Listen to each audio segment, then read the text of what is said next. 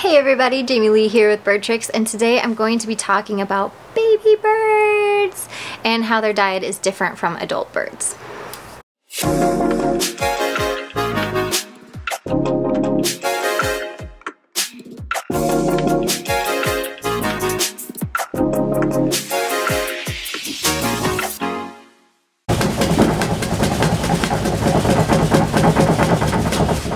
Are you done?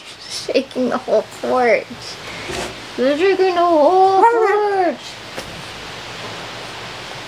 Look like you can go somewhere, you can melt. Melt. Baby melt. Baby melt. Love you. Love your fluffy face when you make it all fluffy. Are you ready? Ready to film your first video? Perfect. Okay guys, hello, this is Jamie from Bird Tricks and Halo. Halo is a red dominant Camelot macaw baby. He's just a baby. He looks big, but he's a baby. You tell by his baby face. Oh, his baby wings, his baby beak. Ah. Yeah, his baby noises. Um, and Halo is with me today to talk about a very important topic that's not always that fun to talk about, but I think it's going to save the lives of a lot of birds. So let's get to it. All right, so first off, I want to talk about how if you don't have experience hand feeding baby birds, weaning baby birds, or just raising baby birds, you shouldn't be buying a full-on baby bird. Now, disclaimer, Halo's actually not mine, but I do get paid to hang out with you and train you, which is a really fun part of my job. Um, however, I just want to point out, just as a disclaimer and just as a, uh, really to emphasize that if you don't have experience with those things, you shouldn't be taking that on for the first time. Um, if you do buy a baby bird though, please make sure that you have direct access to the breeder that you get your bird from um, or some sort of help that you can get from somebody who has experience hand feeding, weaning, just overall with baby birds because although it's not rocket science for how to do those things, so many things can go terribly wrong and these guys are really, really fragile. So it gets scary when you're talking about possibly losing a baby bird just due to one accident in the process. I do want to point out that here at Bird Tricks, we are not breeders. Uh, we are not baby bird experts. We don't specialize in baby birds. We don't raise baby birds. We don't breed birds, um, anything like that. So just a quick disclaimer on that. There, we are not specializing in the baby bird uh, niche. However, I do have a weaning download available on my website. It is free.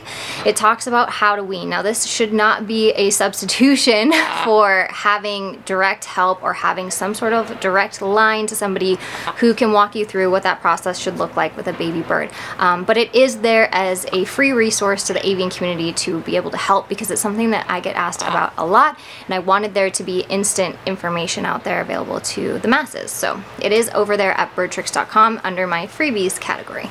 Just a word of advice, if your breeder is not willing to help you through the weaning process with your baby bird, do not buy a bird from that breeder. They should want to see you through, want to be there as a valuable resource and helpful to you um, for this.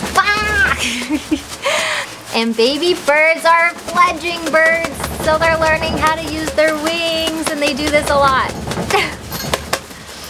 you are gonna eventually go forward and up.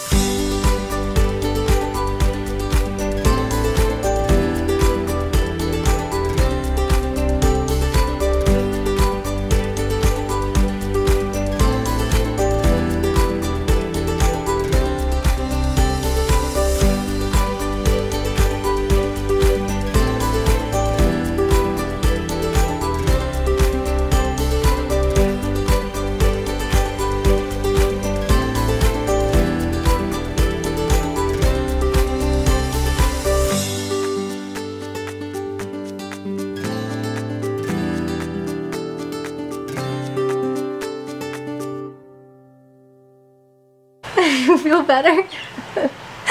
Uh, we're in the fledging process, which I'll probably talk to talk about a little bit later because this is what it looks like. This is what it looks like. It's what you're doing. And uh, if he gets too discontent, I'm gonna put him next to me on a foraging tree. So you can get a little bit more energy out. Really flap up there. Gotta take you flying today. Gotta go flying today. Do an easy one? Good boy. Good job. Good job. Good job. Okay, so here's the big message that I wanted this video to talk about. Um, one, I think it's awesome that great information is getting out there about bird diets. You want to come over here? Um, just about understanding this these guys' health, overall health, their nutritional needs, um, and how to meet them, and offering them the best diet possible. However, the nutritional needs and the diet of baby birds really differs from that of adult birds who are eating on their own. Now I'm going to use the terminology weaned and what weaned means is a bird who is weaned onto foods where it can eat by itself and it is feeding itself. It's no longer taking a hand feeding formula. Um, so that's the difference between a weaned bird who's eating on its own and an unweaned bird who still requires formula. And Halo here still requires two hand feedings a day. So although he is eating on his own a bit, um, he eats two meals on his own per day. He also still needs two hand feeding formula uh, meals per day as well to go along with that because he is a growing big big, big, big, big boy.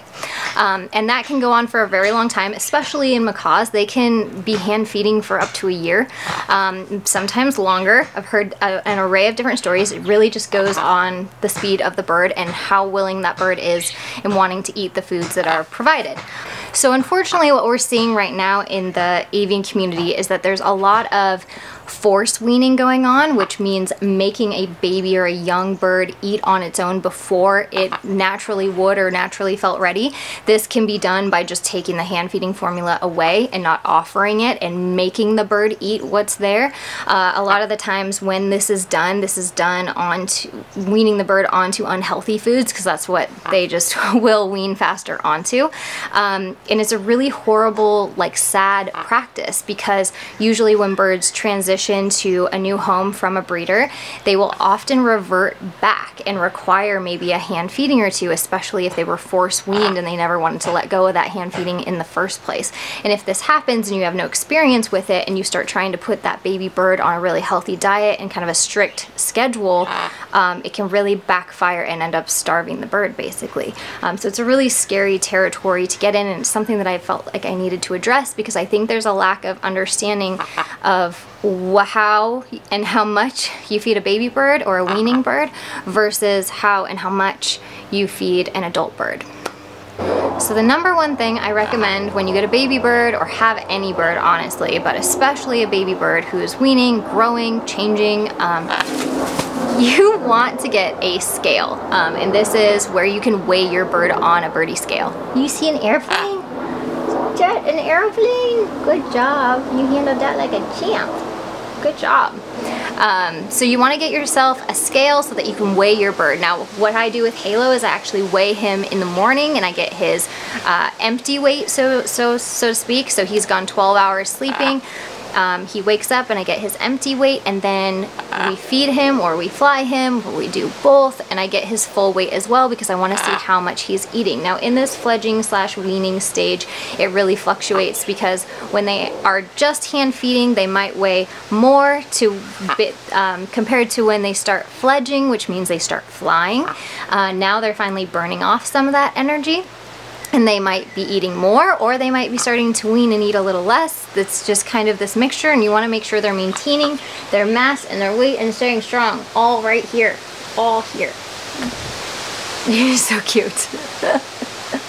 um, but you need to be really, really mindful and watch that weight so that you do not see a weight drop during that stage because that's what can be really scary for these guys. So I do want to emphasize that owning a scale is a life or death investment when you have a baby bird and you're doing any sort of hand feeding, weaning, diet transition, anything. You got a baby bird, you need to have a scale so you can keep track. You going somewhere? Don't go somewhere. You can fly to the side. You just can't fly too far forward. There's a screen right there. Okay? Oh my god, so cute. What is this group? Mm, okay, seriously. To the video. Oh my gosh, you just melted into the birch. Melted. Baby bird melted. Just a puddle of feathers. so cute. Oh. So I do want to mention that I do sell or offer a scale on my website. We've had a really hard time keeping them in stock from the supplier. I love the brand and I love the type of scale. Um, sometimes you can find some on Amazon. Just be really, really uh, aware that you need a gram scale. Birds should be weighed in grams. Um, so if you're looking for one, I know a lot of people kind of jimmy rig their own. Just be really mindful that your bird does not fall off the scale.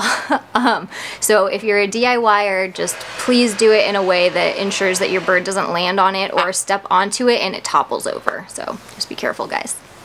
Okay, so the other point that I want to draw with this is that baby birds need access to good food pretty much all the time as they're growing and evolving. Um, whereas adult birds, as you've heard, heard me mention in a lot of videos, we do two meals a day.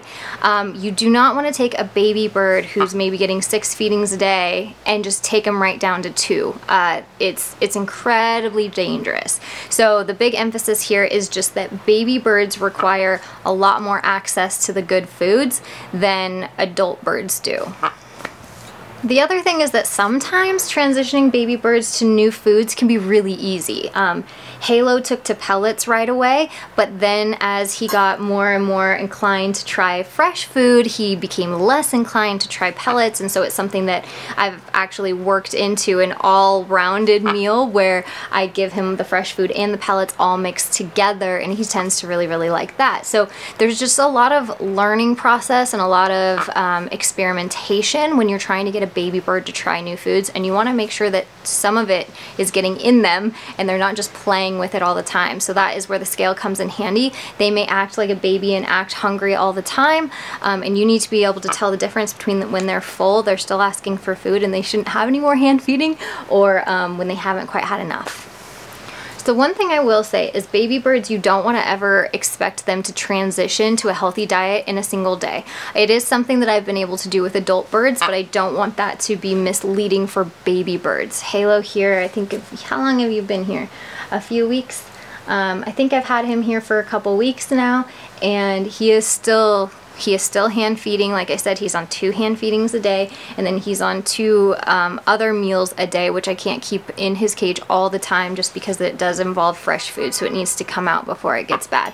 Um, However, he does have access to pellets all the time, so it just looks a little bit different for a baby bird and we're constantly experimenting with, hey, do you like raw broccoli or do you like things a little bit warm? Baby birds tend to like things that um, kind of simulate their hand feeding formula. So they may like things that are warmer and mushier and softer, whereas with adult birds you would think, oh, that's going to trigger hormones, I'm not going to go there with an adult bird, but with a baby bird it may be necessary to have success with your transition.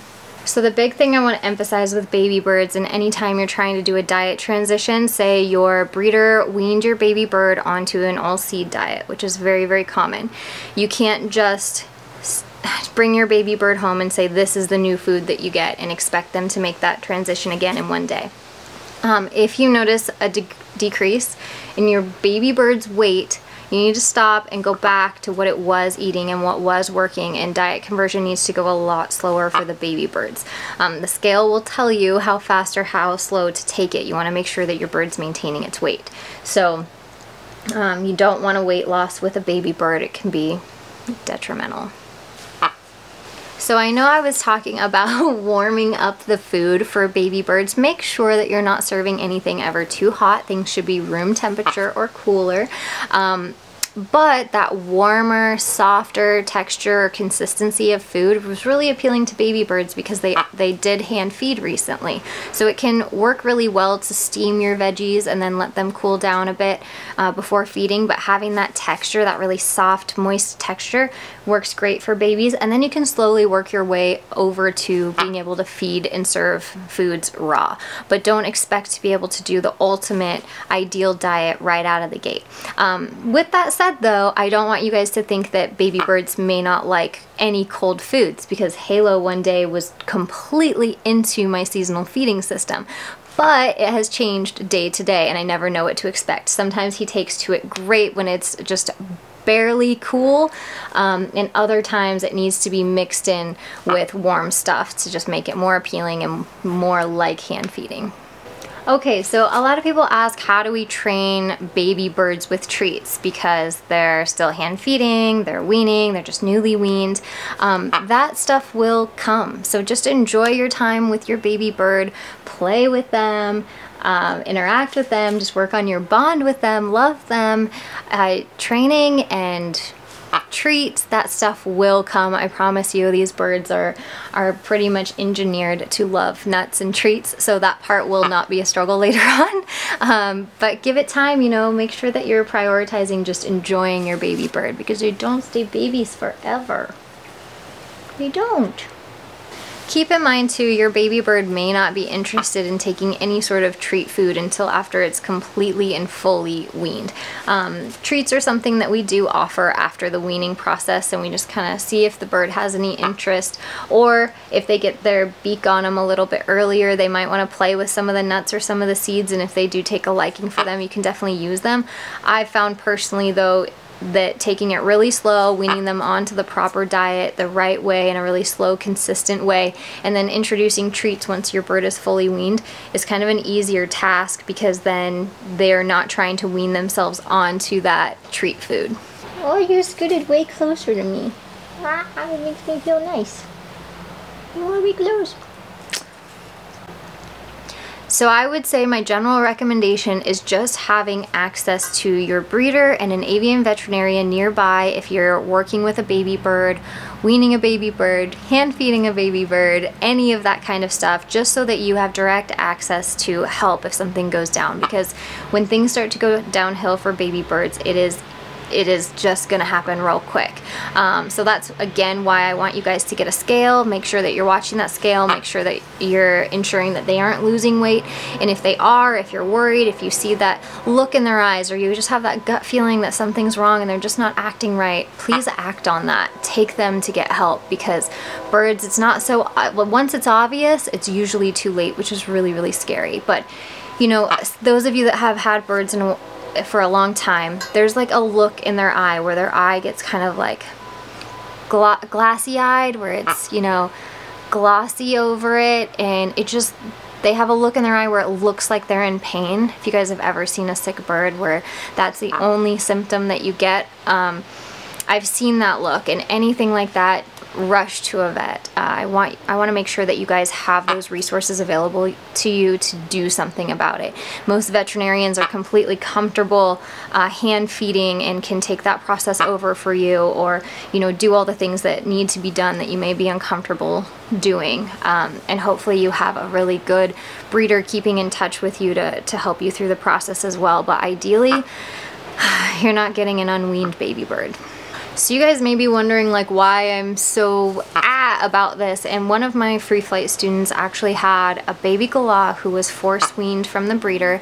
And when the galah came to her it wanted hand feeding formula. It was regressing back even more so. And this flight student of mine had no idea how to hand feed. She'd never done it before. So we pushed her to go to an avian vet and get a crash course in how to hand feed a baby bird from a professional because the breeder was really pushy about her taking this bird sooner than later based on whatever was going on in their lives. Um, but it's just not okay. Don't ever feel pressured into something that you're uncomfortable or not confident enough with. I know for me personally, um, I was offered to take a baby ah. bird that barely had any feathers and raise it for somebody and I said no way.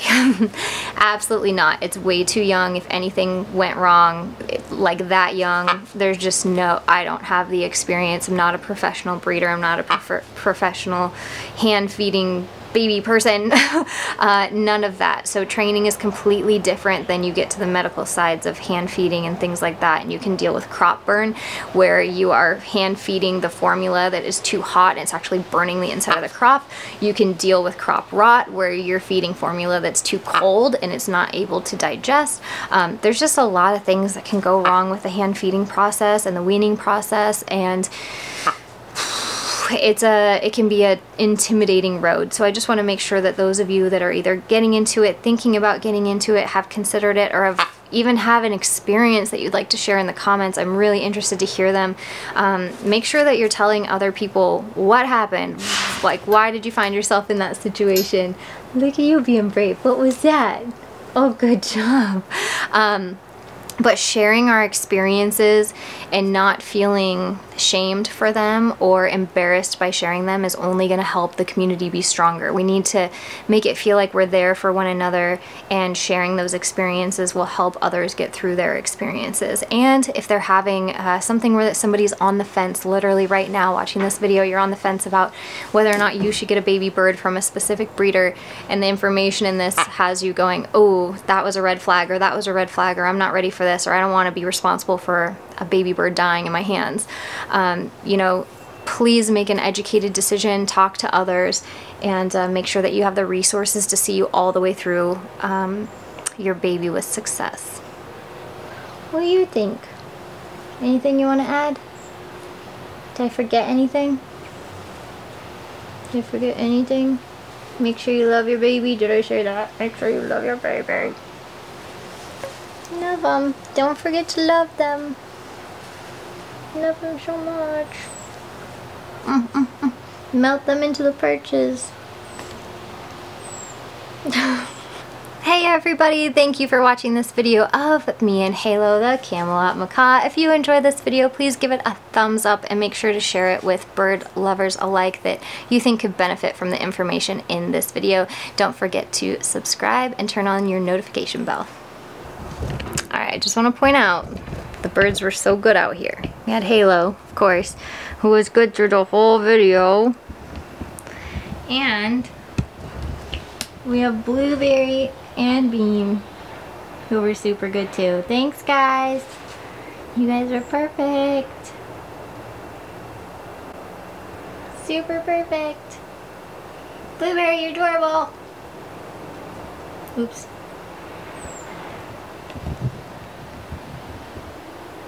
And you're super cute. Super cute.